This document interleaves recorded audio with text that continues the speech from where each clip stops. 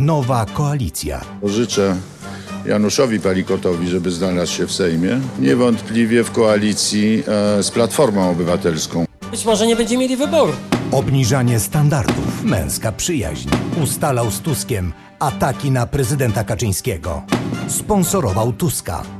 Legalizacja marihuany. sadzić, palić, zalegalizować! W poniedziałek Palikot może współrządzić Polską.